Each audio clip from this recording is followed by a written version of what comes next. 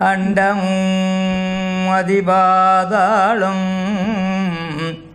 அகிலமோடமரர் மற்றும் கண்டனால் யோனி தோற்றம். கணிக்கோணா உடலோ சங்கம். தொண்டெழு மனிதன் சுத்த துறையிருதயத்திலன்றே விண்டெங்கும் வெளியாகாத இறைவனை இறஞ்சோமே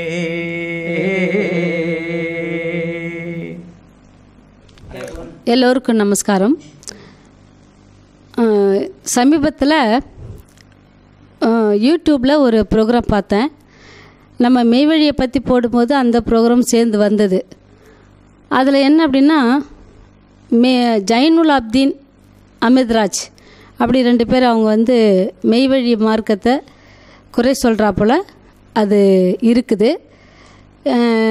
இவங்க வந்து இவர் வந்து மெய்வழி சேர்ந்தது மாதிரியும் அதாவது அமிர்தராஜ் மெய்வழியை சேர்ந்தா போலவும் அவர் வந்து அந்த பாடல்கள் அதாவது இந்த புதுக்கோட்டை இந்த உலகத்துக்கே ஒரே இடம் மெய்வழிச்சாலை அதை மெய்வழின்னு சொன்னாலுமே அந்த மெய்வழிச்சாலை மட்டும்தான்.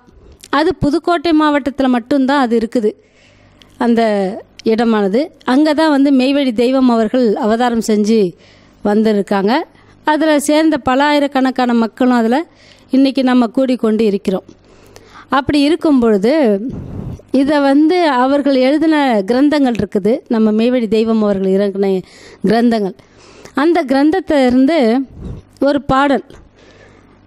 இந்த களிமாவினும் பேரு முத்தொன்றிலங்கிய காணூதின் சாணுக்குள்ளே. அது காணுவிந்துவினிற் கூடவே வந்து கரு கூடகத்துக்குள்ளே.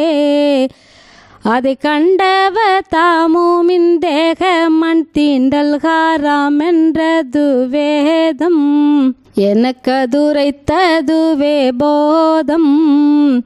ஆதம் பாதம் நீரை நாத மாதான களிமாவேனும் பேரு முத்தொன்றிலங்கிய காணூதின் சாணுக்குள்ளே.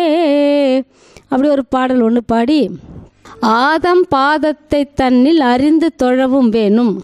அதெல்லாம் தொழுகை அது ஆற்றிற் கரைத்த புலி. அப்படின்னு இந்த ரெண்டு பாடலுக்கும் இதுக்கு சம்பந்தமே இல்லை.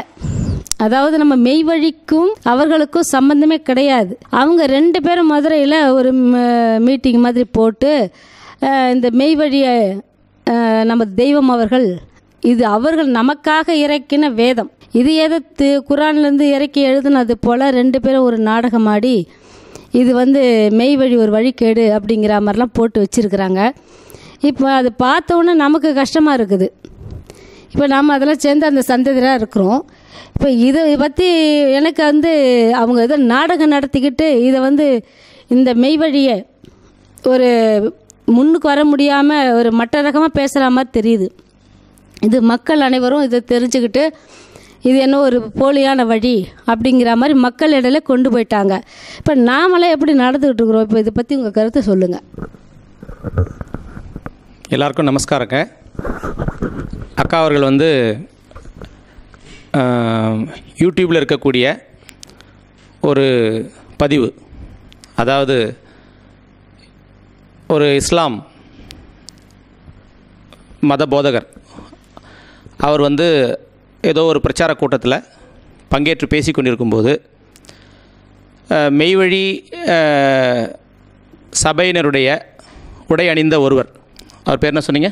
அமிர்தராஜ். அமிர்தராஜ் அப்படின்றவர் வந்து அந்த மத போதகர்கிட்ட வந்து சில விளக்கங்கள் எடுத்து ஏதோ கேட்குறார் மெய்வழி பாடல்களை எடுத்து பாடி கேட்குறார் அதற்கு அவர் விளக்கம் சொல்லிட்டு வரார் விளக்கம் சொல்கிறாருன்னா அவருக்கு தெரிஞ்சு அவர் அவருடைய பாணியில் அவர் பேசுகிறார் இவரும் நிறைய கேட்குறாரு அவரும் நிறைய சொல்கிறார்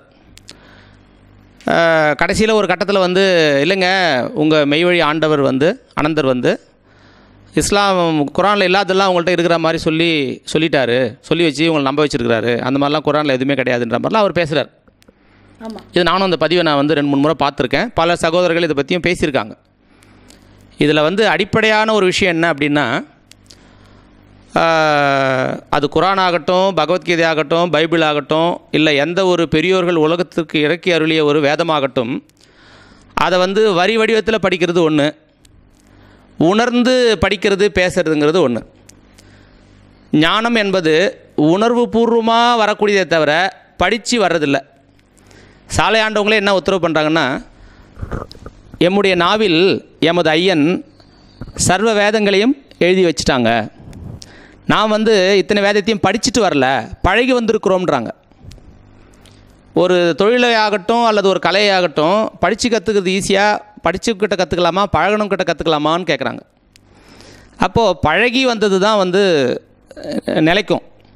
நபிகள் நாயகம் வந்து இஸ்லாத்தை உலகத்துக்கு கொடுத்தாங்க எடுத்து சொன்னாங்க அப்படின்னா அவர்கள் வந்து அந்த ஹீராவின் மலைக்குகையில் பல காலம் அன்ன அன்னபானமின்றி கடுந்தவம் இருந்து தான் அந்த ஜிப்ரில் அவர்கள் மூலமாக அந்த குரான் திருக்குரான் வேதத்தை இறக்கி அருளியிருக்காங்க. அப்படி ஒவ்வொன்றுமே வந்து மகா கணம் பொருந்திய விஷயம். அப்படி இருக்கும்போது இப்போ முதலாவதாக என்னென்னா இப்போ நீங்கள் சொல்கிறீங்களா என்ன பேர் சொன்னீங்க? அமிர்தராஜா அமிர்தராஜ் அப்படிங்கிற ஒரு மெய்வழி சாலையம்பதியில் இல்லை. மெய்வழி சாலையில் அப்படி ஒருத்தர் இல்லை. ரெக்கார்ட்லேயும் அந்த மாதிரி நாங்கள் தேடி பார்த்துட்டோம். அந்த மாதிரி பேர் இல்லை. நாங்களும் விசாரித்து பார்த்துட்டோம். ரெக்கார்டை பார்த்துட்டோம் முதல்ல. மெய்வழி அங்கத்தினருடைய பதிவு என்று இல்லையா? ரெஜிஸ்டர் நம்பர் அந்த ரெஜிஸ்டர் நம்பரில் அப்படி ஒரு பேர் இல்லை அப்படி ஒரு ஆள் இல்லை. இப்போ நீங்கள் சொல்கிறத வச்சு பார்க்கும்போது ஏதோ இவங்களே செட் பண்ணி ஒரு ஆளை ஏற்பாடு பண்ணி மெய்வழிச்சாலை தலப்பாகை அவருக்கு கட்டி இப்படி ஒரு கேள்வி கேளுங்க. அப்படின்னு சொன்னாங்களோன்னு நமக்கு தோணுது. ஏன்னா அப்படி ஒருத்தர் இருந்தார்னா அமிர்தராஜன்றவர் சாலை இருந்தார்னா அவர் சாலையில் இருக்கணும். சாலையில் இருக்கிற ஐயாயிரத்தி ஐம்பது குடும்பங்கள் ஐயாயிரத்தி ஐம்பது உறுப்பினர்கள் அவருடைய வாரிசுகள் ஆயிரக்கணக்கில். அது மட்டும் இல்லாமல் இந்த உலகத்திலிருந்து பல நாடுகளிலிருந்து இந்த நாற்பது ஆண்டுகளாக பல மக்கள் வந்து இது மெய் வழி இது எனக்கும் வேணும். இந்த மெய் வழி எனக்கும் வேணும்னு அவரவர்கள் மத ஆச்சாரத்தின்படி வாழ்ந்து கொண்டிருந்தவர்கள் உண்மையாகவே இறைவனை தேடிக் கொண்டிருந்தவர்கள். ஏதோ கடமைக்கு போயிட்டு இறைவன்கிட்ட எனக்கு வந்து க கை நல்லாகணும் கால் நல்லாகணும் குழந்த பிறக்கணும் வேலை கிடைக்கணும் அப்புறம் வந்து உலக காரியங்கள் நடக்கணுங்கிற வேண்டுதலுக்கெல்லாம் அப்பாற்பட்டு அந்த இறைவனே எனக்கு வேணும்னு ஆசைப்பட்டு கேட்டாங்க இல்லையா? அப்படி கேட்டவங்கலாம் வந்து கொஞ்சம் கொஞ்சமாக அந்த மெய்வழி சாலம்பதியில் வந்து ஜாதி மத பேதமின்றி சேர்ந்து கொண்டிருக்கிறார்கள். அப்படி இருக்கும்போது அந்த ஐ ஆண்டவர்கள் பிரம்மபிரகாச மெய்வழிச்சாலை ஆண்டவர்களுடைய திருமுன்பாக நின்று எனக்கும் இந்த மெய்வழி வேணும் என்னை இதில் சேர்த்துக்கோங்க அப்படின்னு கையேந்தி நின்று கேட்டுக்கொண்டவர்கள் ஐயாயிரத்து நாற்பத்தி ஏழு பேர். அந்த ஐயாயிரத்தி நாற்பத்தி ஏழு பேர் கொண்ட அந்த ரெஜிஸ்டரில் இந்த பேர் இல்லை. அதனால் இவர் மெய்வழிச்சாலையே இல்லை. இவர் வந்து அது என்னன்றது அது அது அவங்க ரெண்டு பேருக்குமே வெளிச்சம். அது உள்ள நம்ம நுழைய வேண்டாம். ஆனால் எப்படியோ ஒன்று சப்ஜெக்டை வந்து இப்போ அவங்க தொட்டிருக்காங்க.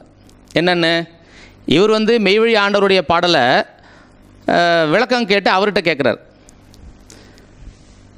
சாலை ஆண்டவர்கள் இறக்கியர் இருக்கிற வேதத்தில் ஒவ்வொன்றுத்துலேயும் அதாவது சைவத்தில் பேசுவாங்க வைஷ்ணவத்தில் பேசுவாங்க இஸ்லாத்தில் பேசுவாங்க கிறிஸ்துவத்தில் பேசுவாங்க புத்தத்தில் பேசுவாங்க ஜைனத்தில் பேசுவாங்க. அவங்க எது பேசினாலுமே ஒரு ஒரு ஒரு பாயிண்ட் இதுலேருந்து அதுலேருந்து எடுத்து எடுத்து கொடுத்தே தான் பேசுவாங்க.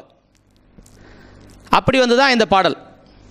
கலிமாவேனும் பேரு முத்தொன்றிலங்கியே காணுதின்சானுக்குள்ளே கலிமான்ற வார்த்தையை யார் உபயோகப்படுத்துகிறாங்க இஸ்லாமியர்கள் உபயோகப்படுத்துகிறாங்க குரானில் உபயோகப்படுத்தியிருக்காங்க. இன்சான் என்றால் மனிதன் என்பது குரானில் இருக்குது அந்த அந்த அந்த இன்சானுக்குள்ளே இருக்கிற அந்த களிமாங்கிற முத்து எப்படி நம்மக்கிட்ட வந்தது? மனிதனாகிய நம்மக்கிட்ட எப்படி வந்ததுன்னா அது காணு விந்துவீனில் கூடவே வந்து கருக்கூடகத்துக்குள்ளே. விந்து என்று சொல்கிறது தமிழ் வார்த்தை. இது நம்ம தமிழ் பெரியவங்க பாடுறாங்க. நாத விந்து கலாதி நமோ நம வேத மந்திர ஸ்வரூபா நமோ நம. அப்போது அவர்கள் வந்து அந்த களிமாங்கிற முத்து எப்படி வந்தது? அது காணு விந்துவினில் கூடவே வந்து கரு கூட கத்துக்குள்ளே அந்த களிமாங்கிற ஒரு மெய்ப்பொருளானது உயிர்ப்பொருளானது அது மனிதனுடைய அந்த மர்மஜலம் என்று சொல்லக்கூடிய அந்த விந்து மூலயமாக ஒரு கருக்கூடகத்தில் வந்ததுன்னு பாடுறாங்க. அப்போது தமிழ் பெரியவர்கள் பாடின அந்த கருத்தும் இஸ்லாத்தில் சொல்லப்பட்ட இருந்த கருத்தும் ஒன்றாகத்தான் இருக்குதுன்னு சொல்ல வர்றாங்க. அதை கண்டவர் தாமூமின் அதை யார் ஒருவர் அந்த களிமாவை அந்த உயிர்ப்பொருளை அந்த மெய்ப்பொருளை கண்டார்களோ அவர்கள்தான் மூமீன். தேக மண் தீண்டல் ஹராம் என்றது வேதம். அப்படி அந்த மெய்ப்பொருளை தனக்குள்ளாக கண்டவங்க அவருடைய தேகத்தை மண் தீண்டாதுன்னு வேதத்தில் அருளப்பட்டிருக்கிறதுன்னு சொல்கிறாங்க அதாவது திருக்குரான் வந்து அந்த மறை வந்து ஒரு கடல் மாபெரும் கடல். அந்த கடலுக்கு அடியில் தான் முத்து இருக்கும். அந்த முத்தை வந்து யார் மூழ்கி பார்க்க முடியும்னா ஞானிகள் தான் மூழ்கி பார்க்க முடியும். மனிதர்கள் மூழ்கி பார்த்தா ஒழுக்கம் நடைமுறை ஒருத்தனை ஏமாற்றக்கூடாது வட்டி வாங்கக்கூடாது பொய் பேசக்கூடாது அடுத்தவங்களை பாவப்படுத்தக்கூடாதுன்றது தான் நமக்கு புரியும். ஆனால் அந்த மெய்ப்பொருளை புரிஞ்சுக்கணுன்னா அதுக்கேற்ற மாதிரி பழகினவங்க தான் அதை எடுக்க முடியும். வாய் பேசுகிறவங்க எடுக்க முடியாது. அதாவது ஒன்பது வகை துரோகங்களை மெய்வழி ஆண்டவர்கள் வேதத்தில் குறிப்பிடுறாங்க ஒன்பது வகை துரோகங்கள். அதில் ஒன்று வாய்ஞானம் பேசுதல். வாய்ஞானம் வாய்ஞானம் பேசுதல் ஒரு துரோகங்க. ஞானத்தை வாயால் பேசினா அது துரோகம். அனுபவிச்சவங்க தான் பேசணும். அனுபவிக்காதவங்க அனுபவிச்சவங்க கிட்ட கையேந்தலாம். ஆனால் அனுபவிச்சவங்க தான் பேசணும். அப்போ வாய்ஞானம் பேசுதல் ஒன்பது வகை துரோகத்தில் ஒன்றா வச்சுருக்கிறாங்க. அப்படி இருக்க பெரியோரை தூஷித்த பெரியோரை தூஷித்தல் செய் நன்றி கோரல் சமய போர் புரிதல் வாய்ஞானம் பேசுதல் இதெல்லாம் சொல்கிறாங்க அப்போ வந்து இப்படிலாம் வந்து மறையில் இருக்கக்கூடிய வேதத்தில் இருக்கக்கூடிய ஆழ்ந்த கருத்துக்களை அவர்கள் தங்களுடைய ஞான அ- அனுபவத்தில் கண்டு எடுத்து எழுதியிருக்காங்க. அதாவது கற்றோரை கற்றோரே காமுறுவர். பாம்பின் கால் பாம்பறியும். ஞானம் என்பது பரிபாஷையால் தான் பேசிக்கொள்ள முடியும். பரிபாஷையில் தான் ஞானம் வச்சுருக்கிறாங்க ஞானிகள். இது வந்து புரிஞ்சவங்களுக்கு புரியும். இப்போ நம்ம பேசுகிறது வந்து அந்த ரெண்டு பேருக்காக இல்லை. அந்த ரெண்டு பேருக்காக இப்போ பேசலை. ஆனால் இதை அந்த ஞானம் வேணும் யதார்த்தத்தை தேடுறாங்கல்ல உண்மையை தேடுவாங்கல்ல அவங்களுக்கு இது புரியும். அவங்களுக்கு இது புரியும் என்னன்னு. அருணிலைகால் தலையும் பரிபாஷை கல்லால். அருணிலைகால் தலையும் பரிபாஷை கல்லால் ஆயுளெல்லாம் படித்தும் பொருள் அறியப் போகார். இன்றைக்கு திருக்குறள் எடுத்துக்கிட்டோம்னா எத்தனையோ பேர் எத்தனையோ விதமாக அதுக்கு உரை எழுதுறாங்க விளக்கம் சொல்கிறாங்க அது சரி போலவே தான் இருக்குது ஆனால் ஒரு உண்மையான மெய்ஞானிகள் கிட்ட வந்தால் தான் அதுக்கு உண்மையான விளக்கம் தெரியும். அது வரைக்கும் தெரிந்து கொண்டது சரிதான். உலகத்து லெவலில் அது சரி. உதாரணத்துக்கு ஒத்ததறிவான் உயிர் வாழ்வான் மற்றெல்லாம் செத்தாருள் வைக்கப்படும் ஒரு திருக்குறள். அப்போது ஒத்ததறிவான் உயிர் வாழ்வான் மற்றெல்லாம் செத்தாருள் வைக்கப்படும்னா நமக்கு எது ஒத்துக்குமோ அதை புரிஞ்சுக்கிட்டு இருக்கணும் அதை சாப்பிடணும் அதுக்கேற்ற மாதிரி நடந்துக்கணுன்றது ஸ்கூலில் சொல்லிக் கொடுக்குற விளக்கம். இந்த திருக்குறள் மணி ஐயா இருக்கார் பக்கத்திலே இருக்கார். பொம்மை அர்த்தம். பொம்மை அர்த்தம். இவரெல்லாம் வந்து திருக்குறள் சங்கம் வச்சு நடத்துகிறவர் திருக்குறள் வந்து பெரிய திருக்குறள் மணினே பட்டம் வாங்கினவர். சிறு வயசுலேருந்தே திருக்குறளில் ஊர்னவர் நிறைய திருக்குறள் சங்கங்களோட இவருக்கு தொடர்பு இருக்குது நிறைய குழந்தைகளை இவர் சிறு வயசு ஊக்கப்படுத்தியிருக்கிறார். அப்போ உலக அர்த்தம்ன்றது வே இதை சொல்கிறதுக்கு திருவள்ளுவர் வேணுமா? ஒத்ததறிவான் உயிர் வாழ்வான் உனக்கு எது ஒத்துக்குதோ அதை அதை பார்த்து அனுசரித்து நடந்துக்கோன்றதுக்கு திருவள்ளுவர் தேவையில்லை. இதை வந்து மாணிக்க வாசகர் சொல்கிறாங்க ஒத்த நில தொத்த பொருள் ஒரு பொருளாம் பெரும் பயனை. அத்தனை கருளியவார் ஆறு பெறுவார் அச்சோவே. அந்த ஒத்தது எதுன்னு தெரிஞ்சாதான் அந்த சாவி வந்தால் தான் இது அந்த பாஸ்வேர்டு புரிஞ்சாதான் இது திறக்கும். அது வரைக்கும் இப்படி பொம்மை அர்த்தம் உலக அர்த்தம் தான் பேசிகிட்டு இருக்க முடியும். அப்போ இந்த சப்ஜெக்ட் வந்து இந்த ரெண்டு பேரை விடுங்க. அப்போ வந்து இந்த மாதிரி இருக்கக்கூடிய பாடல்கள் நம்ம சாலை ஆண்டவர்கள் நமக்கு கிடைச்ச ஒரு பெரிய பெரிய பொக்கிஷம். அது வந்து எதனால் சொல்கிறோம் அப்படின்னா நாம் அதை உணர்ந்து பேசுகிறோம் எந்த ஒரு இன்றைக்கி உலக ந- உலகத்தில் என்ன நிலவரம் இருக்குதுன்னா ஒரு மதத்தினரை பார்த்தா இன்னொரு மதத்தினர் கொஞ்சம் கசப்பாக பார்த்துக்கிற மாதிரி ஒரு நிலையை உருவாக்கிக்கிட்டாங்க. காவி கலரை பார்த்தா பச்சை கலருக்கு பிடிக்க மாட்டேங்குது வெள்ளை கலரை பார்த்தா காவி கலருக்கு பிடிக்க மாட்டேங்குது நிலைமை உருவாக்கிட்டாங்க. இப்படி ஒரு கொந்தளிப்பாக இந்த உலகமே மாறிக்கொண்டிருக்கக்கூடிய இந்த காலத்தில் புலியும் நரியும் நாயும் ஓனாயும் ஒரே இடத்துல தண்ணி குடிக்குதுன்னு சொன்னாங்க அந்த காலத்தில். அப்படி ஒரு அதிசயமான செயலை செய்தவர்கள் நம்ம பிரம்மபிரகாச மெய்வழிச்சாலை ஆண்டவர்கள். ஒரு கிறிஸ்துவரையும் ஒரு இந்துவையும் ஒரு இஸ்லாமியரையும் ஒரு ஜெயினரையும் இப்படி பல மதத்தினரை அவரவருடைய மதத்தினுடைய நிஜ செயல் என்ன? ஆணிவேரான செயல் என்ன? அப்படிங்கிறத எடுத்து காட்டி எடுத்து பேசி தன்னுடைய ஆவியை கொடுத்து பேசி பேசி பேசி அவருடைய உணர்வை அந்த நிலைக்கு கொண்டு போய் அந்த வேதத்தின் மூலமாகவே உணர்த்தி அவர்களை சம்மதிக்க வைத்து இப்படி எல்லா மதத்தினரையும் ஒன்றாக்கி வச்சு வச்சுருக்காங்க.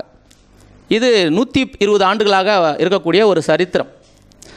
மெய்வழியில் வந்தால் தான் அறுபத்தொன்பது ஜாதிகள் அடங்கிய மக்கள் ஒன்றா இருக்கிறாங்க. இத்தனை மதத்தை சேர்ந்த மக்கள் ஒன்றா இருக்கிறாங்க. இப்போ நம்மளையே பாருங்கள் நான் உதாரணத்துக்காக பேசுகிறேன் இப்போ. ஐயா வந்து ஒரு சமூகம் முதலியார் சமூகம். ஆமாம் நீங்கள் தேவர். தேவர் சமூகம். நாங்கள் வந்து வைஷ்யர் செட்டியார் சமூகம். நீங்கங்க? முதலியார். சமூகம் செங்குந்த முதலியார் சமூகம். நீங்கங்க? நாயுடு. சமூகம். அப்பா நாயுடு அம்மா? அம்மா நாயுடு அப்பா இஸ்லாம். அதை சொல்லுங்க. அம்மா நாயுடு சமூகம் அப்பா இஸ்லாம் சமூகம். இவங்க அப்பா வந்து மெய்வழி தேவேந்திர அனந்தர் மெய்வழி ரஷீத் அண்ணா அவருடைய பேர். உங்கள் தாத்தா பேர் என்னங்க? அப்பாவோட அப்பா. அப்பாவோட அப்பா. சிக்கந்தர். அவங்கெல்லாம் வந்து அந்த இஸ்லாத்தில் அந்த வேதமே ஓதுறவங்க ஃபாத்தியா ஓதுறவங்க அவங்கெல்லாம். அண்ணா வந்து ராமநாத ஐயர். ராமநாத ஐயர். ஸ்ரீரங்கத்தில் ராமநாத ஐயர். அதில் வடகலை தெங்கலை சொல்லுமேனா? ஆ கலை கிடையாது. வைஷ்ணவத்துல தான். வைஷ்ணவத்தில் தான் ராமநாத ஐயர். ஐயா நீங்கள் உங்கள் பேருங்க? வன்னியர். வன்னியர். ஐயா நீங்கள் உடையார். மண்பாண்டம் செய்யக்கூடிய உடையார். எதுக்கு சொல்கிறேன்னு கேட்டிங்கன்னா ஒரு சின்ன ஒரு இது. இப்போது இதை விட வேறு என்னங்க சாட்சி வேணும் மெய் வழிக்கு இதை விட வேறு என்ன சாட்சி வேணும்? எந்த காலத்துலையாவது ஒரு ஐயரும் ஒரு இஸ்லாம் சம்மந்தப்பட்ட ஒரு குடும்பமும் ஒன்றா உக்காருமா? திருமணம் ரெண்டு கலப்பு திருமணம்ல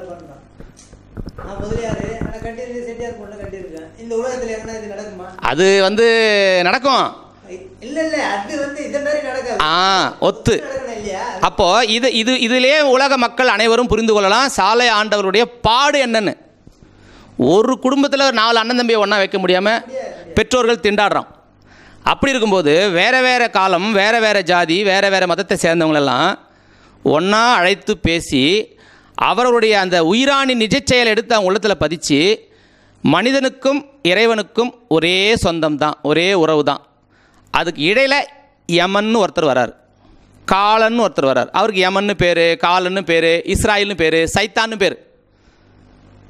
பேர் வேறு வேறு பாஷைகளுக்கு ஏற்றாப்புல வச்சுருக்கிறாங்க. ஆள் ஒன்று தான் அந்த யமன் வந்து இஸ்ராயல் வந்து சைத்தான் வந்து இறைவனுக்கும் உனக்கும் குறுக்க பூந்து மாயைன்ற ரூபத்தில் பூந்து பிரிச்சே வச்சிட போகிறான் அதுலேருந்து தப்பிச்சிக்கோன்றது தான் எல்லா ஞானிகளும் சொன்னது. அதை தான் நானும் உனக்கு சொல்ல வந்திருக்கேன்னு சொன்னாங்க. அது புரிஞ்ச பிறகு ஜாதி மதங்கிற அந்த அறியாமையெல்லாம் என்ன ஆகுது? நம்மளை விட்டு ஓடி போச்சு. ஆனால் இன்னைக்கு நாட்டில் எது பிரதான பிரச்சனை? ஜாதி பிரச்சனை. மத பிரச்சனை. இத்தனை காலமாக அரசாங்கங்கள் நடக்குது. இத்தனை காலமாக மத கர்த்தர்கள் வந்தாங்க. தீர்க்க முடிந்ததா? அப்போ தீர்த்திருக்கிறாருன்னு சொன்னால் இந்த ஜாதியை ஒன்றா சேர்த்தது மதத்தை ஒன்றா சேர்த்ததுன்றது மனிதர்களாகிய நாம் கூட புரிஞ்சு கொள்ளக்கூடியது நமக்கு ஞானம் புரியலை லேட் ஆகும். ஞானம் புரியறதுக்கு லேட் ஆகும். ஞானமாகவே நம்ம ஆகிறதுக்கு லேட் ஆகலாம். ஆனால் இது புரியுதில்ல. அப்போது இதையே இவ்வளோ சிறப்பாக செய்திருக்கிறாருன்னா அவர் காட்டுகின்ற அந்த ஞானப்பாதை எப்பேற்பட்டதாக இருக்கும்னு யார் யோசிக்கணும்? நாம தான் யோசிக்கணும். யதார்த்த உள்ளம் யாரா இருந்தாலும் நிச்சயம் இதை ஒப்புக்கொள்வார்கள். ஏன்னா ஒரு பானை சோத்துக்கு ஒரு சோது பதம். அப்போ புரிந்து கொண்டதை வைத்து புரியாததை புரிஞ்சிக்க முடியும். என்ன இன்றைக்கி எத்தனையோ அரசியல் தலைவர்கள்லாம் மெய்வழிச்சாலைக்கு வர்றாங்க. சினிமா துறையிலேருந்துலாம் வர்றாங்க. எதுக்கு சொன்ன விளம்பரத்துக்காக சொல்லலை. அவர்கள் எல்லாம் ஆச்சரியப்படுறாங்க. ஒரு குறிப்பிட்ட கட்சியினுடைய மூத்த தலைவர் ஒருத்தர் ஒரு திருமணத்துக்கு வந்திருந்தார். அவர் சொல்கிறாரு நாங்கள்லாம் தமிழ் தமிழ்னு நினச்சிட்டு இருக்கோம் தமிழ் தமிழ்னு பேசிகிட்டு இருக்கோம். இப்படி ஒரு தமிழை நான் கெட்டதில் கேட்டதில்லை. இந்த திருமணத்தில் சாலை ஆண்டவர் எடுத்து வச்சிருக்கிற அந்த நடைமுறை வெள்ளை புஷ்பம் சிகப்பு புஷ்பம் சம்மதம் கேட்டு அந்த மந்திரங்கள் அவ்வளோ அருமையாக இருக்குது எல்லோரும் தரையில் உட்காடுறீங்க குடிசையில் வாழறீங்க மின்சாரமே இல்லாமல் இருக்கீங்க எளிமையாக இருக்க பழகியிருக்கிறாரு. இந்த சாதனை யாராலும் செய்ய முடியாது. அதுவும் நம்ம தமிழ் தமிழில் ஒரு இஸ்லாம் சமூகத்தில் அவதரித்தவர் வந்தவர் இதை செஞ்சிருக்கிறாருன்றது பெரிய விஷயம். எந்த காலத்திலேயாவது ஒரு இஸ்லாமியர் வகையில் வந்தவங்க அவங்கள ஒரு பிராமணராக வந்தவங்க வகையில் வர்றவங்க ஆசானா குருவா அதையும் தாண்டி தெய்வமா பரம்பொருளா ஏற்றுப்பாங்களா முடியாது. ஏற்றுக்கிறாங்கன்னா அது என்னவா இருக்கும்? மிரட்டினாரோ? மிரட்டினாரோ? கத்தி காட்டி மிரட்டினாரோ ஆண்டவர் எல்லாரையும்? இல்லை கால கெஞ்சினாரோ? கெஞ்சினாரு. எது கெஞ்சினாரு? என்ன போல தானே நீ இருக்க? ஒரு முள்ளு பட்டாலும் உனக்கு வலிக்குமே. என் தேகம் போல தானே உன் தேகம்? நாளைக்கு போய் நீ அந்த கொடூர நரக மரண அவஸ்தையில் மாட்டிப்பியேன்னு கெஞ்சினார். ராமலிங்க சுவாமிகள்லாம் எடுத்து சொல்கிறாங்க வையகத்தீர் வானகத்தீர் மற்றகத்தீர் உமது வாழ்க்கையெல்லாம் வாழ்க்கையென மதித்து மயங்காதீர். அப்ப மரண வாதனையை தவிர்த்த அதே அதை அதே வாழ்க்கையென வாழ்க்கையென மதித்ததனை பெறவே கூப்பிடுறார். அன்பா சொல்லுவேன். தண்டம் கொடுத்து சொல்லுவேன். அரைந்து சொல்லுவேன்றார் ராமலிங்க சுவாமிகள். எதனால? இந்த இந்த மனித பிறப்பு இப்பிறவி தப்பிடில் எப்பிறவி வாய்க்குமோ என்ன வருமோ? அப்படிப்பட்ட இந்த கிடைத்தற்கரிய மனித பிறவி கிடைச்சி ஒரு மெய்குருவும் கிடைச்சி அதில் மிஸ் ஆன? அந்த ஆதங்கம் அதனால் ஞானிகள் அப்படியே பேசுகிறாங்க அப்போது இஸ்லாமில் அந்த ரெண்டு பேர் சொன்னீங்களே அதில் இஸ்லாம் மத போதகர் ஏதோ பேர் சொன்னீங்க நமக்கு பேர் வேணாம். பேர் வேணாம் அவர் யாரோ இருந்துட்டு போகிறார் நிறைய பேர் பேசுகிறாங்க என்ன பண்ணிட்டு போகிறாங்க நான் பார்த்த வகையில் நான் பார்த்த வகையில் அந்த யூடியூப் நானும் பார்த்தேங்க. இவர் கேட்ட கேள்விக்கு அவர் பதில் சொல்கிறாரு அவருக்கு தெரிஞ்சதை அவர் சொல்கிறார் அதனால் அவர் ஒன்றும் குறை சொல்லலை. ஆனால் அவர் என்ன சொல்லலான்னா ஆண்டவர் வந்து மெய்வழி அனந்தர் வந்து அவர் தெய்வ சக்தின்றீங்களே அவர் ஏன் வந்து எழுபத்தாறில் பிரச்சனை வந்தது? எழுபத்தாறில் ஏன் அதெல்லாம் காப்பாற்றிக்கல பொய் சொல்றாருங்கிற ஒரு வார்த்தையை சொன்னாரு. நான் கேட்டேன். ஆமாம் பொய் சொல்கிறார் சொல்கிறார் பொய் சொல்றாருங்கிற ஒரு வார்த்தையை சொன்னார். அப்போது பொய் சொல்கிறாருன்னு இவர் சொல்கிறாருன்னா இவருக்கு மெய் தெரியாது. இவரை பற்றி விடுங்க. இவருக்கு வயசு அறுபது எழுபது இருக்கும். இவருக்கு வயசு ஒரு அறுபது இருக்குங்க. அறுபது இருக்கும். அவரை விடுங்க. சாலை ஆண்டவர்களுக்கு நான் சிறு வயசில் எட்டு வயசில் அவங்கள தரிசனம் பண்ணியிருக்கேன். நான் சாலை ஆண்டவங்களை நேரில் தரிசனம் பண்ணியிருக்கேன். என் தாய் தந்தையினுடைய தயவில் புண்ணியத்தில் நான் தரிசனம் பண்ணியிருக்கேன். அவங்க திருக்கரத்தால் அமுது வாங்கியிருக்கிறேன். சாலை ஆண்டவருடைய ஸ்பரிசம் என் மீது பட்டிருக்கிறது. அப்போ அவர்களுக்கு வயசு நூற்றி இருபத்தி மூணு. அந்த நூற்றி இருபத்தி மூணு வயசில் எனக்கு அன்றைக்கி நான் ஃபோட்டோ பிடிச்சிக்கிட்டேன். அவர் அவரோட தரிசனம் பண்ண அந்த காட்சியை ஃபோட்டோ பிடிச்சிக்கிட்டேன். எனக்கு அப்போ அது அது எனக்கு தெரியல. ஆனால் இப்போ எனக்கு வயசு வந்த பிறகு அதை நான் யோசித்து பார்க்குறேன். அந்த தேஜஸ். நூற்றி இருபத்தி மூணு வயசில் இந்த மாதிரி மைக்கெல்லாம் கிடையாது அப்போலாம் அவங்க கொடுத்தாங்கன்னா அந்த கம்பீர குரல் வந்து கணீர் குரல் ஆலயம் அந்த ஆலயம் முழுக்க இருக்கிற மக்கள்லாம் கேட்பாங்க. பின் ட்ராப் சைலண்ட் இருக்கும். ஒரு ஒளிநாடால் இன்றைக்கும் அவங்களுடைய திருக்குறள் வந்து பதிவாயிருக்கு. அவங்க நபிகள் நாயகத்தினுடைய பெருமையை எடுத்து எடுத்து எடுத்து எடுத்து எடுத்து சொல்லியிருக்காங்க. மூன்றாம் வேதத்த அரசர் இயேசுநாத பிரானுடைய பாடு அவர்களை முள்கிரிட வச்சு அவமானப்படுத்தினது சிறுவேல அரைஞ்சி அவங்கள உயிருக்கு தொந்தரவு கொடுத்தது இன்னும் பல வகையில் அவங்க இம்சிச்சதெல்லாம் அவங்க எடுத்து சொல்கிறத கேட்டால் அனந்தர்களுக்கு கண்ணீர் வரும். ஒவ்வொரு மத கர்த்தர்களும் தன் உயிரையே காவு கொடுத்துலடா இதை உருவாக்குனாங்கன்னு சொல்லுவாங்க. அந்தந்த நிகழ்ச்சியில் எடுத்து சொல்லுவாங்க. முருகப்பெருமான் பட்ட அவஸ்தை என்ன? இன்றைக்கு உலக மக்கள் வந்து முருகரை வணங்குறாங்க. ஆறு ஆறு கோயில்கள் இருக்குது ஆறு படை வீடுன்னு வணங்குறாங்க. அன்றைக்கு அந்த முருகப்பெருமான் என்ன பாடுபட்டார்? அதை வந்து வரலாறு ரீதியாக எடுத்து சொல்லுவாங்க. அதே போல் வந்த வந்த ஞானிகள் அப்பர் சுந்தரர் மாணிக்க வாசகர் போன்றவங்க பட்ட பாடென்ன நாயன்மார்கள் பட்ட பாடென்ன நபிமார்கள் பட்ட பாடென்ன இப்படி ஒவ்வொரு அவதார புருஷருடைய பாடுகளையும் எடுத்து சொல்லி பேசுகிறாங்கன்னா அவர்கள் யாராக இருக்கும் ஒரு இஸ்லாம் வந்தாங்கன்னா இஸ்லாத்தை பற்றி மட்டும் பேசுவாங்க. இஸ்லாம் வந்த பெரியவர்களை பற்றி பேசுவாங்க. அவர்களுடைய அந்த பாடுகளை பேசுவாங்க. அந்தந்த மார்க்கத்தில் இருக்கிறவங்களுக்கு அந்தந்த இயக்கத்தை சேர்ந்தவங்களுக்கு அமைப்பை சேர்ந்தவங்களுக்கு மதத்தை சேர்ந்தவங்களுக்கு அவங்கவுங்க பேசுவாங்க. ஆனால் இவங்க எல்லாரையும் பேசுகிறானா அப்போ யாராக இருக்கும் ஒரு இந்த இடத்துல ஒரு நிகழ்ச்சி ஒன்று குறிப்பிடணும். மெய்வழி அப்துல் அலி அவங்க பேர். அவங்க வந்து தஞ்சாவூர் மாவட்டத்தை சேர்ந்தவங்க. அவங்க வந்து மெய்வழியில் அங்கத்தினர் ஆகிறாங்க. அவர்கிட்ட நான் பேசுகிறேன் நான் யாரை பார்த்தாலும் நீங்கள் எப்படி மெய்வழிக்கு வந்தீங்க? மெய்வழியில் தெய்வத்துக்கு உங்களுக்கு என்ன சம்பாஷணம் நடந்தது? இதுதான் ஆசையாக கேட்போம் நம்ம. வேறு என்ன இருக்குது நமக்கு பேசுகிறதுக்கு அவங்கள்ட்ட? அவர் சொன்னார் சிறு வயதாக நான் இருக்கும்போது என்னுடைய பெரியப்பாவும் நானும் தொழுகைக்கு போவோம். பள்ளிவாசலுக்கு தொழுகைக்கு போவோம். அப்படி போய் கொண்டிருக்கும்போது எனக்கு சரியான தாகம் எடுத்தது ஒரு நாள். தாகமாக இருக்குதுன்னு எங்கள் சித்தப்பாட்ட கேட்குறேன் எங்கள் பெரியப்பாட்ட கேட்குறேன் அவர் சொல்கிறாரு அங்கே மோர் இருக்குது சா அங்கே மோர் தராங்க சாப்பிட்லாவான்னு என்னை கூப்பிட்டு போனார். யார் மோர் கொடுத்துட்ருக்காங்கன்னா வடலூர் வள்ளல் பெருமானுடைய சமரச சுத்த சன்மார்க்க சங்கத்தை சேர்ந்தவங்க மோர் வந்து அன்றைக்கி தானமாக கொடுத்துட்ருக்காங்க எல்லாரும் மோர் சாப்பிட்டுட்டு போகிறாங்க இவங்களும் போய் மோர் சாப்பிட்டாங்க. யார்? அப்துல் அலி ராவுத்தர் அண்ணாவும் அவங்க பெரியப்பாவும் அந்த இடத்துல மோர் சாப்பிட்டாங்க.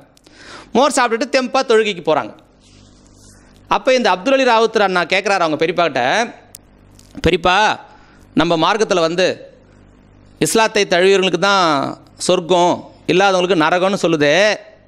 நம்ம தாகத்துக்கு இவங்க மோர் கொடுத்தாங்களே இவங்களுக்கு சொர்க்கம் கிடைக்குமா நரகம் கிடைக்குமான்னு கேட்குறாரு அதுக்கு அவர் சொல்கிறாரு அதெல்லாம் அவங்கெல்லாம் காஃபிருங்க. அவங்கெல்லாம் வந்து இஸ்லாத்தை தழுவல. அதனால் அவங்களுக்கு நரகம் தான் கிடைக்கும். அப்படின்னு சொல்கிறார் இப்படி சொன்ன உடனே சின்ன பிள்ளை இல்லையா? இவர் யோசிக்கிறார். தொழுகையில் என்ன கேட்குறாராம் இறைவன்கிட்ட?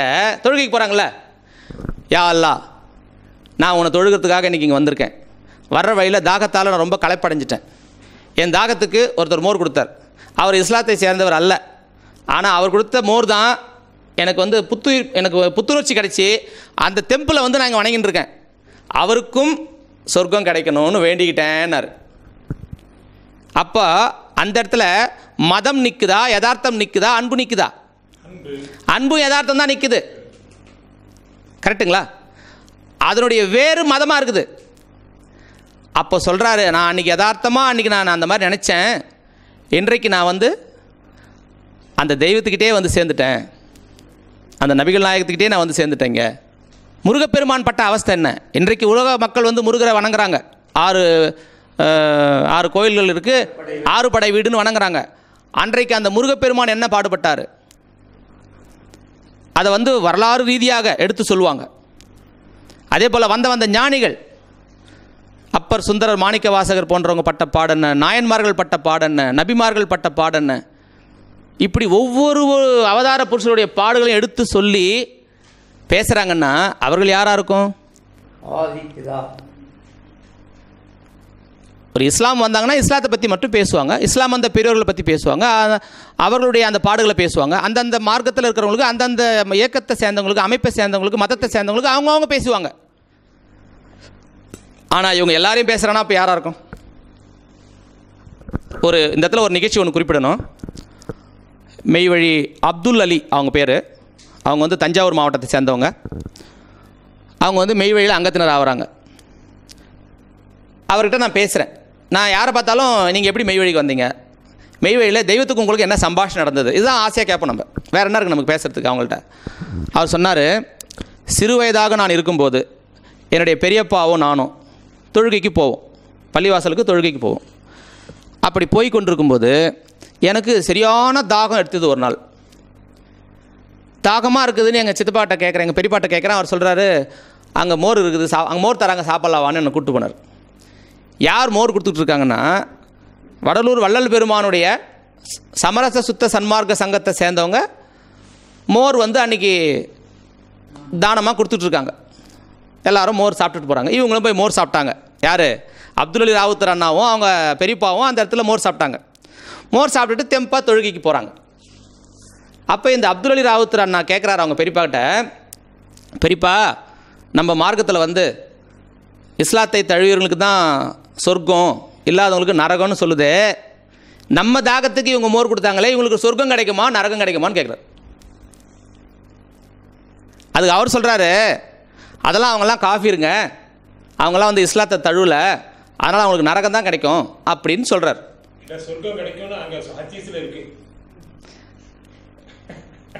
வாஸ்தவம் தான் சாரி உங்கள் கருத்தையும் நீங்கள் சொல்லி தான் ஆகணும் அப்போ என்னென்ன அப்போ என்னென்னா இப்படி சொன்ன உடனே சின்ன பிள்ளை இல்லையா? இவர் யோசிக்கிறாரு. தொழுகையில் என்ன கேட்குறாராம் இறைவன்கிட்ட? தொழுகைக்கு போகிறாங்களே யா அல்லா நான் உன்னை தொழுகிறதுக்காக இன்றைக்கி இங்கே வந்திருக்கேன்.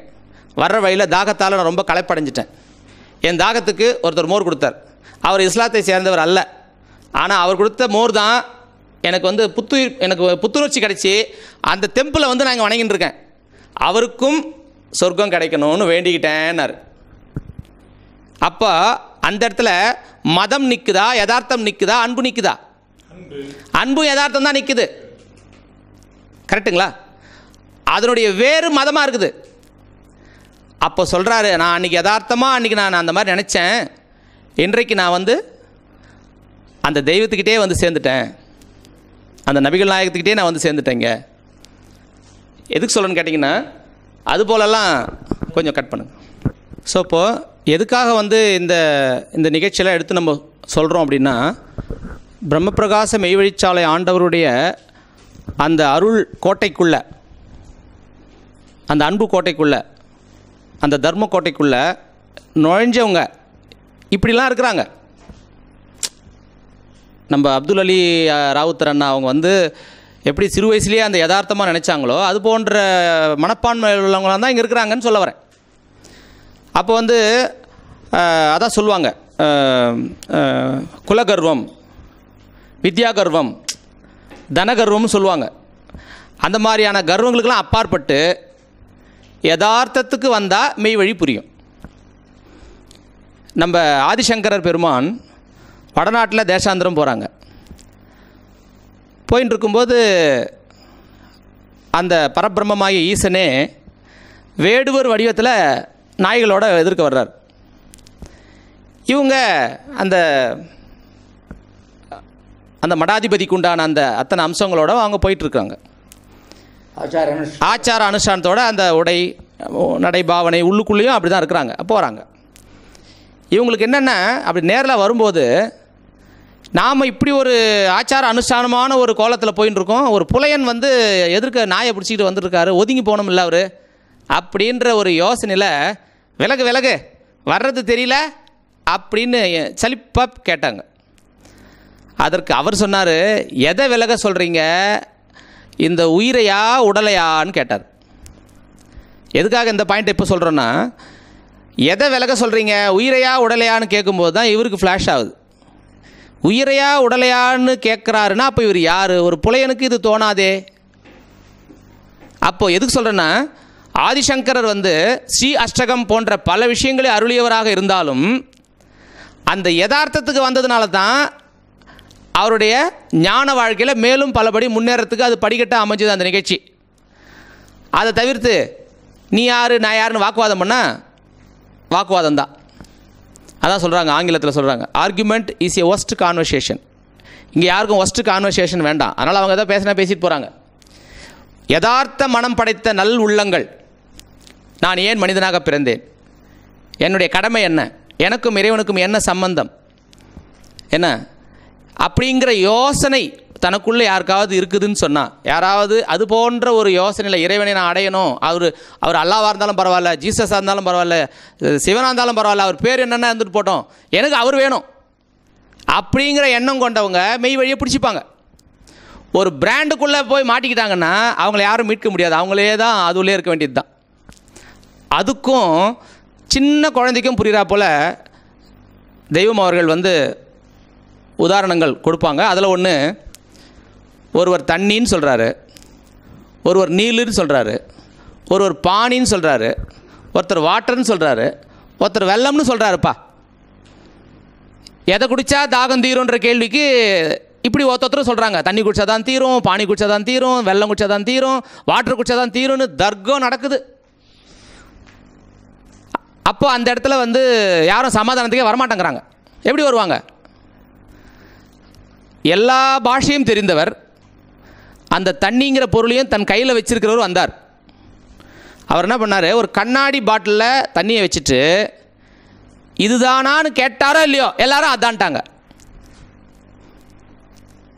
அப்படி இஸ்லாம் கிறிஸ்தவம் இந்து வைஷ்ணவம் அதில் வடகலை தெங்கலை அது ஜாதிங்க அதில் உட்பிரிவு வெளிப்பிரிவு எத்தனை பேசினாலும் எல்லாம் ஒரு மெய்ப்பொருளை தான் தெரியாமல் உலக மக்கள் பேசிகிட்டு இருக்காங்க சண்டை போட்டுட்ருக்காங்க அந்த கண்ணாடி பாட்டிலுங்கிறதா மெய்வழி அதை கொண்டு வந்து வச்சது தான் பிரம்மபிரகாச மெய்வழிச்சார் ஆண்டவர்கள். அதை பார்த்த உடனே தண்ணியை பார்த்த உடனே எல்லாரும் ஆமான்னு சொல்லி ஆகணுமா இல்லையாங்க? அப்போ வார்த்தை அளவில் நிற்கும்போது பேதகமாக இருந்தாங்க. பொருள் அளவுக்கு வரும்போது எல்லாரும் ஒன்றாயிட்டாங்க அது அதுதான் மெய்வழியில் நடந்து கொண்டிருக்கிறது. அப்போ வந்து நபிகள் நாயகத்தினுடைய பெருமை எவ்வளவோ சொல்லலாம்.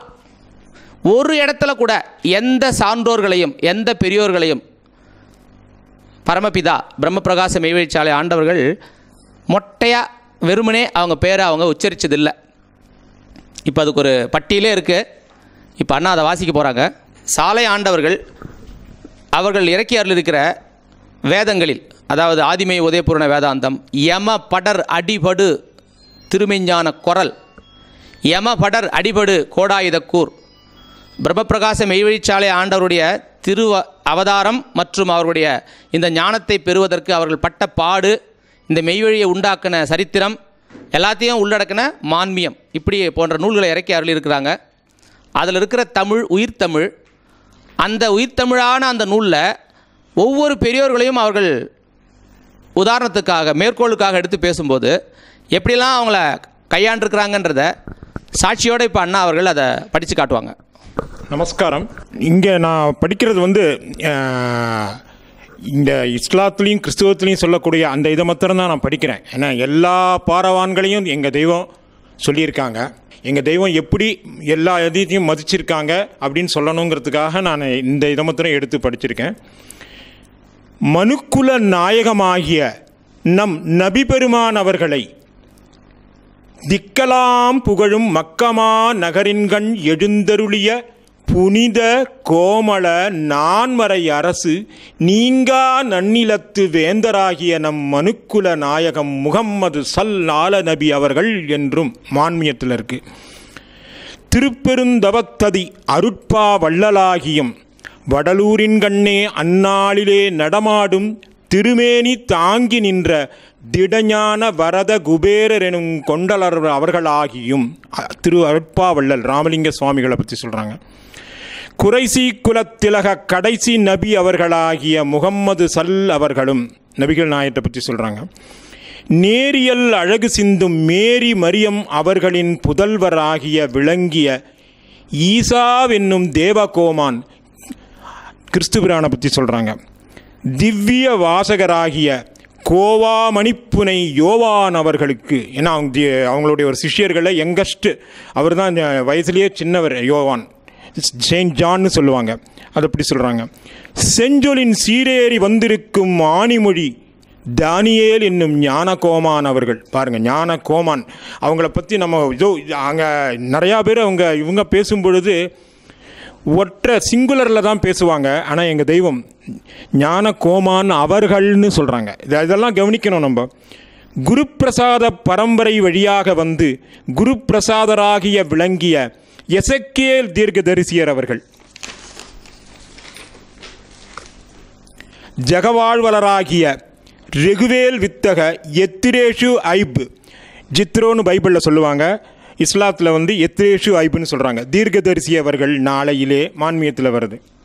கிறிஸ்துபிரான் அவர்கள் உதயம் செய்வதற்கெல்லாம் முன்காலமாகிய ஆயிரத்தி நூற்று தொன்னூற்று ஒன்றாவது வருடமாகியும் இப்பொழுது நிகழும் மகதி அவர்களின் காலமாகிய மெய்வழி தலைவு ஆண்டு முதலாவதுக்கு முன்னே மூவாயிரத்தி முன்னூற்று தொன்னூற்று ஒன்றாவது வருடத்தில் அங்கே ஆதி நாட்டத்தின்படியே எகிப்தியா தேசத்திலே மூசா நபி என்னும் மோசே தீர்க்கதரிசி அவர்கள் அவங்க காலத்தை எப்படி குறிப்பிட்டு சொல்கிறாங்க பாருங்கள் அவங்க அதே மூசா மோசஸ் அவங்க மூசா நபியை இன்னொரு விதமாகவும் சொல்கிறாங்க ஆசகலாத மாசிலாத தேவ நேசாதி வாசராகிய மூசா நபி என்னும் மோசே தீர்க்கதரிசி அவர்கள் அந்த அடைமொழிகள் அடைமொழிகள் ஒவ்வொரு ஞானிகளையும் அவங்க அவ்வளோ கண்ணியம் கொடுத்து அவ்வளோ அடைமொழி கொடுத்து தான் அவங்க அங்கே குறிப்பிடுவாங்க. வெறும் பேர் அவங்க எடுத்த உடனே எங்கேயுமே உத்தரவு பண்ணது கிடையாது. அதே போல் நம்மளது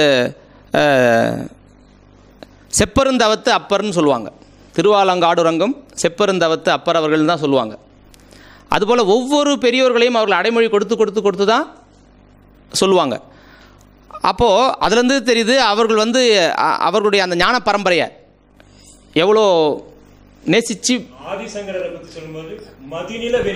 பதிமே- அண்ணல் ஆதிசங்கரர். அவங்க மதிநிலை வெறிக்கும் பதிமேவு அண்ணல் ஆதிசங்கரர். அதே போல் புத்த பகவானை பற்றி சொல்லும்போது சத்திய சுத்த உத்தமர் மேரு ஸ்ரீ புத்த பகவான் சொல்லுவாங்க. சத்திய சுத்த உத்தமர் மேரு ஸ்ரீ புத்த பகவான் அப்படி தான் சொல்லுவாங்க. அப்போ அதுபோல் ஒவ்வொருவரையும் வந்து அடைமொழி ஒரு ஒவ்வொரு ஞானிகளையும் அவர்கள் உயர்த்தி கண் அதான் உயர்த்தினா அது அவங்க சொத்து. நம்ம நினச்சிட்டு இருக்காங்க இவங்க சொத்துன்னு. இஸ்லாமியர்களுக்கு நினைப்பு என்ன? நபிகள் நாயகம் எங்கள் சொத்து? ஆனால் அவர்கள் பொது சொத்து. கிறிஸ்தவர்களுக்கு நினைப்பு என்ன? இயேசுநாதர் எங்கள் சொத்து? ஐயா அவர்கள் பொது சொத்து. இந்துக்களுக்கு நினைப்பு என்ன? கிருஷ்ண பரமாத்மா ஈசன்லாம் எங்கள் சொத்து? ஐயா அவர் பொது சொத்து. யார் அவங்க பேச்சை கேட்குறாங்களோ அவங்களுக்கு தான் அவங்க சொத்து. ராமகிருஷ்ண பரமம்சர் ஒரு வாக்கியத்தில் சொல்கிறாங்க குருவினுடைய கட்டளைகளை செயல்படுத்துவதே அந்த குருவுக்கு சீடன் செய்கிற காணிக்கை.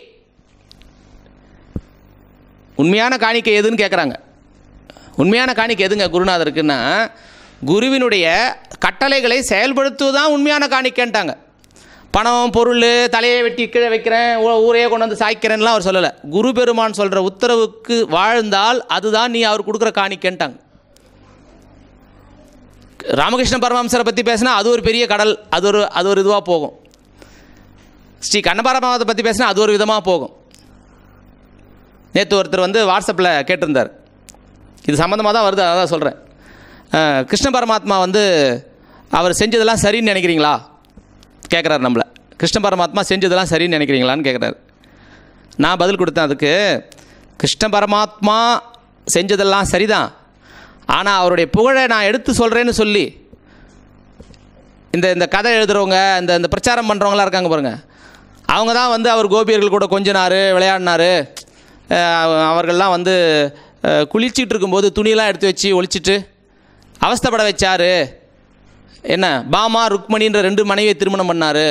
அது மட்டும் இல்லாமல் ஆயிரம் கோபியர்களோட கொஞ்சி விளையாடினாருலாம் புராணத்தில் சொல்லும்போது.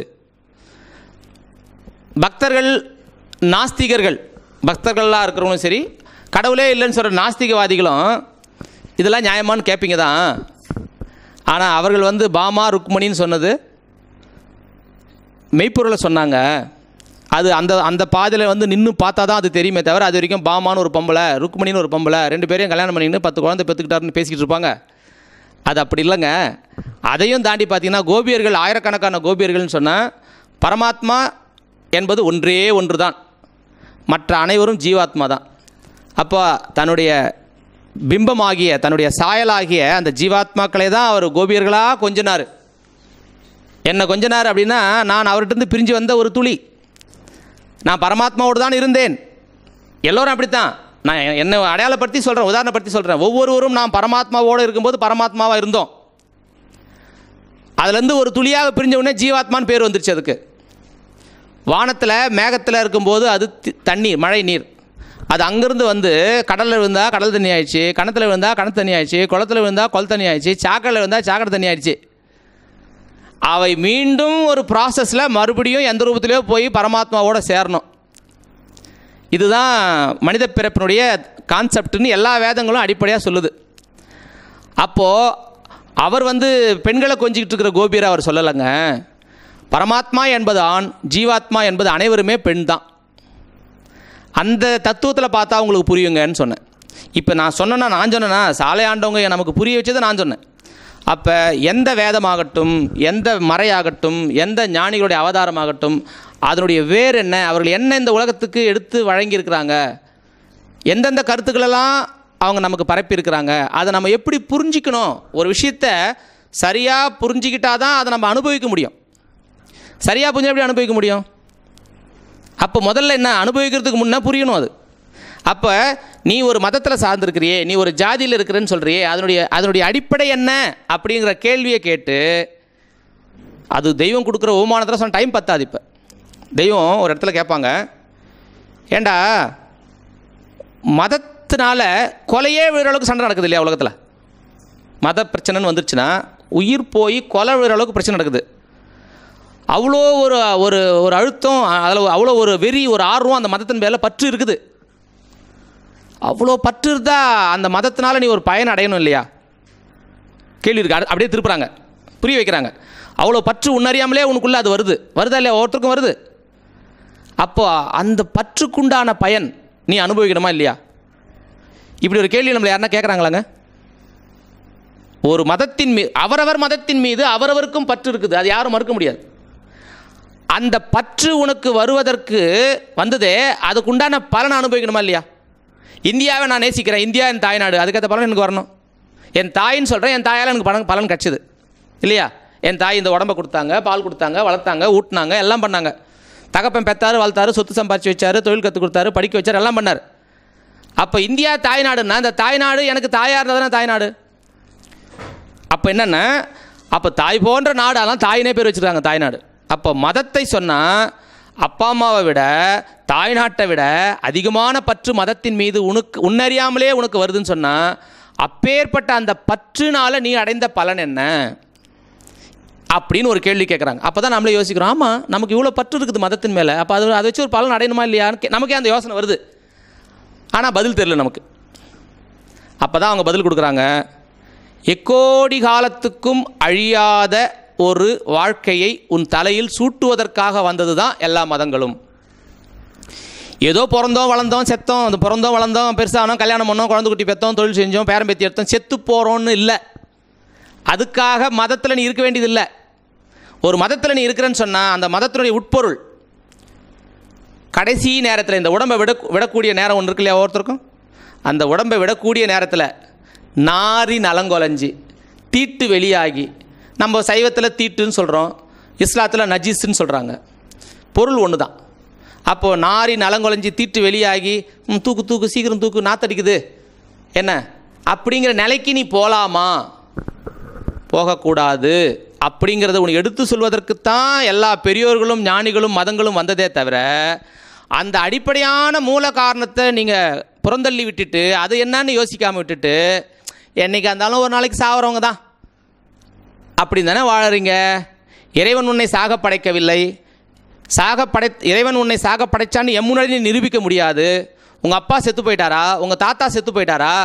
என்கிட்ட நீ அதை நிரூபி பார்க்கலான்னு கேட்குறாங்க ஒரு மாடு வச்சிருந்தா அது செத்து போச்சு ஆடு வச்சிருந்தா செத்துது. ஆனால் உன் உங்கள் அப்பா செத்துட்டாரா? உங்கள் தாத்தா செத்துட்டாரா? செத்துட்டாரு அவர் இல்லைன்னா ஏன் அவருக்கு திதி கொடுக்குற?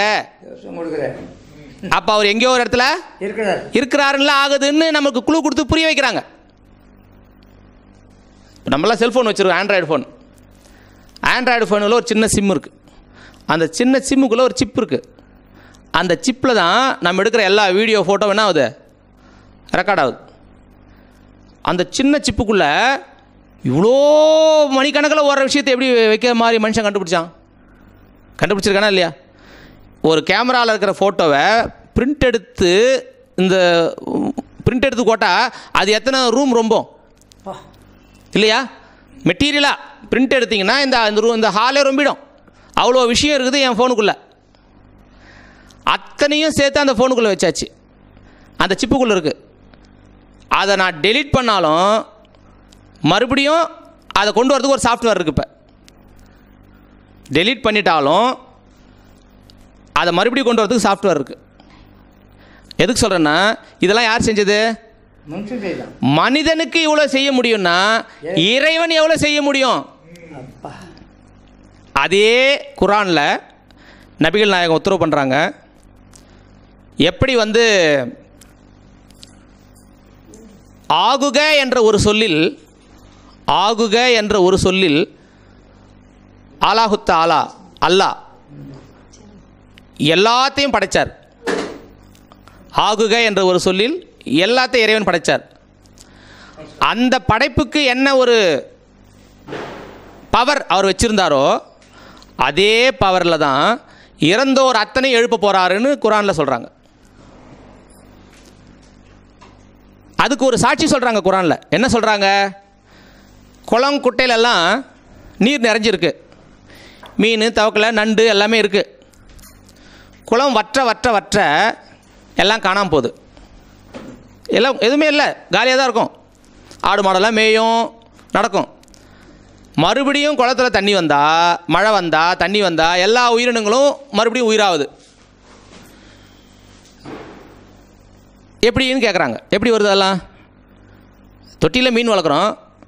குளத்துலலாம் நம்ம நம்மளா கொண்டு போய் நண்டு விட்டோம் நம்மளா தவக்கலையை விட்டோம் நம்மளா மீனை விட்டோம்.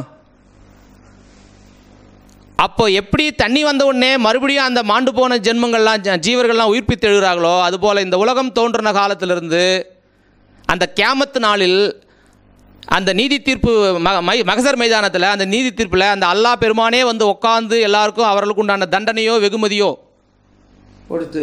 சொர்க்கமோ நரகமோ கொடுக்கக்கூடிய அந்த நாளில் எல்லாரும் எழுப்பப்படும்னு வேதத்தில் இருக்கு. அப்படிப்பட்ட அப்படி எழுப்பக்கூடிய ஒரு சக்தி அந்த அல்லாவுக்கு உண்டுன்னு இருக்கு. அப்போ மனிதன் இறக்க பிறந்தவனா? இதைத்தான் ஆண்டவங்க சொல்கிறாங்க எம் முன்னால் சாக மனிதன் சாக பிறந்தவனால் நிரூபிக்க முடியாது. அப்போது அவர்கள் யார்? இவர்கள் யார்? அவர்கள் யார்? இவர்கள் யார்? இருவரும் ஒருவரே. அது அப்போது அந்த அது உணர்ந்தாதான் அது புரிய முடியும். தக்கலை பீர் முகமது ஒலியுல்லா அவர்கள் குணங்குடி மஸ்தான் அவர்கள் என்ன நாகூர் மீரான் அவர்கள் இஸ்லாத்திலே வந்து அவங்களெல்லாம் ஏற்றுக்காதவங்களும் இருக்கிறாங்க. ஓரிரை கொள்கை. ஏன்னா அல்லாவை தவிர வேறு யாரும் கிடையாது. நபிகள் நாயகத்தை தவிர தூதர் யாரும் கிடையாது. ஏன்னா அவர் தான் இறுதி நபின்னு அவரே அறிவிச்சிட்டாரு. உண்மைதான். அப்போ இவர்கள் யாருன்னு தெய்வம் கேட்குறாங்க சாலையானவங்க கேட்குறாங்க இவங்கெல்லாம் யார்? அப்போ என்னென்ன கருத்து வேறுபாடுகள் என்பது முரண்பட்ட கருத்துக்களோ கருத்து வேறுபாடு என்பது மனித குலத்திற்கு தவிர்க்க முடியாதது. ஏன் தவிர்க்க முடியாதுன்னா அவரவர்கள் அனுபவத்தினால் புரிந்து கொள்கிறதை இவர் போய் அடக்க முயற்சிப்பார். அதெல்லாம் கிடையாது இதுதான்வார் இவர் படிச்சுட்டு பேசுகிறாரு அவர் உணர்ந்து பேசுகிறார் எது ஜெயிக்கும்? படிச்சுட்டு பேச ஜெயிக்குமா உணர்ந்து பேச ஜெயிக்கும். அதனால் வந்த வந்த ஞானிகள் அனைவரும் உணர்ந்து எடுத்து சொன்னார்கள். அதனால் பிரம்மபிரகாச மெய்வழிச்சாலை ஆண்டவர்கள் உணர்ந்தவர் மட்டுமல்ல அனைவருக்கும் உணர்த்துபவர். அதை உணர்ந்து கொள்வதற்கு நமக்கு ஒரு பக்குவம் வேணும். அதற்கு நாம் நேரத்தை ஒதுக்கணும். நேரத்தை ஒதுக்கி காது கொடுத்தால் அது புரியும். அதுதான் பைபிளில் சொல்கிறாங்க காது உள்ளவன் கேட்க கடவன் அதனால் என் தாய் தந்தை செய்த புண்ணியத்தில் எல்லோரும் செய்த ஒரு புண்ணியத்தில் என்னமோ எந்த புண்ணியமோ சாலை ஆண்டவர்கள் உடைய அந்த அருள் கிடைச்சது. நாங்களும் அதுக்காக கொஞ்சம் நேரத்தையும் ஒதுக்கி காது கொடுத்து கேட்டவங்கலாம் தங்கிட்டாங்க. ஷெட்யூல் போட்டான் ரைட்டு ஒரே வார்த்தையில் இது இல்லை அது இல்லை இப்படி இல்லை அப்படி இல்லைன்னு போனாங்கன்னா ஏமாந்து போனாங்க. நபிகள் நாயக பெருமான் தினசரி தெரு முச்சந்தில் நின்று பிரசங்கம் பண்ணுவாங்க. ஒரு இடத்துல நின்று பிரசங்கம் பண்ணுவாங்க. தெய்வம் என்ன பண்ணியிருக்காங்க அங்கே நின்று பண்ணியிருக்காங்க அப்படி பண்ணும்போது ஒரு அம்மா தினமும் குப்பை கொட்டுவாங்க. எல்லாருக்கும் தெரிஞ்சது தான். தினமும் குப்பை கொட்டுவாங்க ஒரு அம்மா. தினமும் கொட்டுவாங்க. இவர் கீழே பேசிகிட்டு இருப்பார் அந்த மாதிரி மாலை குப்பை கொட்டும். இவர் தட்டி விட்டுட்டு பேசிக்கிட்டே இருப்பாங்க. நபிகள் நாயகம் தொடர்ந்து பேசிக்கிட்டு இருப்பாங்க. அப்படி இருக்கும்போது ஒரு நாள் அந்த அம்மா குப்பை கொட்டலை. இவர் யோசிச்சுட்டு போயிட்டார். பிரசங்கத்தை முடிச்சுட்டு ஐயன் போயிட்டார். மறுநாளும் அவங்க கொட்டலை. இவருக்கு யோசனை தினமும் ஒரு அம்மா குப்பை கொட்டுவாங்களே இன்னைக்கு கொட்டலையே? அப்படின்னு சகாக்கள் கிட்ட கேட்டாங்க. இங்கே ஒரு அம்மா தினமும் குப்பை கொட்டுவாங்க கொட்டலன்னு. அவங்களுக்கு உடம்பு சரியில்லைங்க. அப்படின்னாங்க. என்னது உடம்பு சரியில்லையா? அவங்கள நான் பார்க்கணுமே. யார்? நபிகள் நாயகம் பெருமான் சொல்கிறாங்க நான் அவங்கள பார்க்கணுன்னு அப்படின்னொடனே ஏறி அவங்களே மாடிப்படி ஏறி போய் அவங்கள பார்க்குறாங்க. அம்மா யாருங்க? நான் தான் வந்திருக்கேன். உங்களுக்கு உடம்பு சரியில்லைன்னு கேட்டு நீ வந்திருக்கியா? நான் உன் மேலே டெய்லி குப்பை கொட்டுவேனே பரவாயில்லைங்க உங்களுக்கு உடம்பு சரியில்லை அதான் பார்க்க வந்தேன். அப்போ அந்த அம்மா சொல்லுறாங்க தினமும் நான் குப்பை கொட்டினாலே என் மேலே எவ்வளோ கோவம் வரும்? நான் இன்னைக்கு ரெண்டு நாளாக குப்பை கொட்டாததையும் கவனித்து எனக்கு உடம்பு சரியில்லை பார்க்க வந்தீங்கன்னா அப்போ நீங்கள் யாராக இருக்கோன்னு யோசித்து அதுக்கப்புறம் அவங்க இஸ்லாத்தை ஏற்றுக்கொண்டதாக வரலாறு இருக்கிறது. அதனால் தியாகம்தான் இஸ்லாம் சகிப்புத்தன்மை தான் இஸ்லாம் உண்மைதான் இஸ்லாம். இப்படி பேச வைத்த அந்த சாலை ஆண்டவர்களை அவர் பொய் சொல்லிட்டாரு. அவருங்களெல்லாம் குரான் இல்லாத சொல்லி ஏமாத்திட்டாருன்னு சொன்னால் நான் ஒரு தமிழ் குடும்பத்தை சேர்ந்தவன் ஒரு சைவ நெறியில் பழகினவன் செட்டியாருங்கிற ஒரு சமூகத்தை சேர்ந்த என்னால் நபிகள் நாயகத்தை பற்றி தொப்புலேருந்து அடி வயிற்றுலேருந்து ஆனந்தமாக சொல்ல வச்சவரை உனக்கு பொய் சொல்லிட்டாருன்னு சொன்னால் அது உங்களுக்கு தான் அல்லாதான் அவர் கூலி கொடுக்கணும். நமஸ்காரம்